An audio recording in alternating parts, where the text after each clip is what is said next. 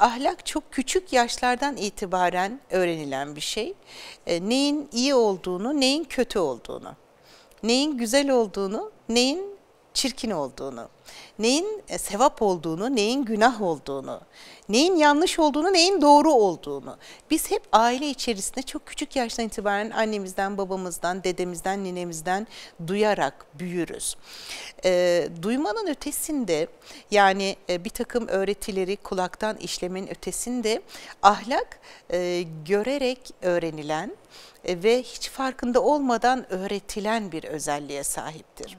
Yani siz e, şiddet uyguladığınızda, merhametsiz davrandığınızda, zalimlik yaptığınızda sizi izleyen çocuk e, aslında hiç fark etmeden e, şiddeti öğrenir, merhametsizliği öğrenir.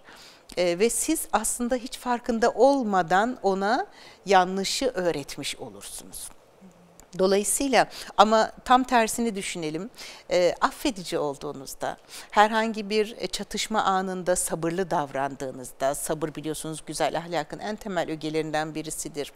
E, karşı, karşınızdakini affettiğinizde, merhametli olduğunuzda, hoşgörülü olduğunuzda sizi izleyen çocuklar, sizinle birlikte e, günlük hayatı paylaşan evlatlarınız, öğrencileriniz okulda söz gelimi 4-6 yaş dönemi çok önemli e, okul okul öncesi süreç ahlak eğitiminde e, izleyen öğrenciler e, bu sefer de merhameti öğrenirler. Affediciliğin ne kadar e, ortama iyi geldiğini, insanlara şifa verdiğini, hoşgörünün ne kadar e, ruhları e, dinginleştiren ve toplumu iyileştiren bir özelliğe sahip olduğunu hissederek öğrenirler.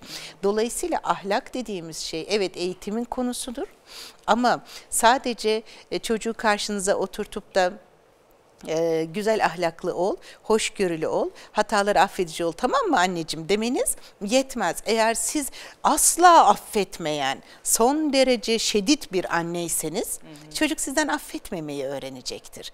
E, dolayısıyla bir şekilde e, ahlak eğitimi aile içerisinde e, özellikle bu 4-6 yaş sürecinde son derece önemli. Her gün yeni bir şeyler öğrenen ve ona göre davranmayı kafasına koyan çocuklardır. Artık bundan sonra ben de böyle yapacağım. Demek ki doğru olan bu annem yaptığına göre, babam yaptığına göre, öğretmenim böyle davrandığına göre ben de onu model alarak onun gibi olmalıyım diyen bu çocukluk dönemi, erken yaş çocukluk dönemi çok e, kilit noktadadır ve aile tabii bu süreçte az önce de dediğim gibi sadece söylediklerine, öğütlediklerine, e, okuduklarına, öğrettiklerine değil yaptıklarına da dikkat etmelidir.